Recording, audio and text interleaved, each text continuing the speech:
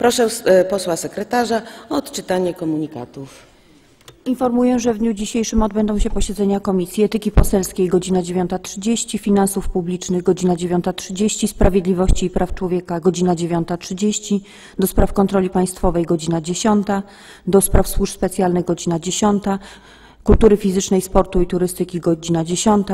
Zdrowia godzina 10, Administracji i Cyfryzacji godzina 11, do Spraw Unii Europejskiej godzina 11, do Spraw Unii Europejskiej godzina 12.30, Edukacji, Nauki i Młodzieży godzina 12.30, Kultury i Środków Przekazu godzina 12.30, Regulaminowej i Spraw Poselskich godzina 12.30, Rolnictwa i Rozwoju Wsi godzina 13, Ustawodawczej godzina 13, Łączności z Polakami za granicą godzina 14.30, Skarbu Państwa godzina 15, Nadzwyczajnej do spraw zmian w kodyfikacjach godzina 16, Obrony Narodowej godzina 16, Spraw Wewnętrznych godzina 16, Ochrony Środowiska, Zasobów Naturalnych i Leśnictwa godzina 16.30,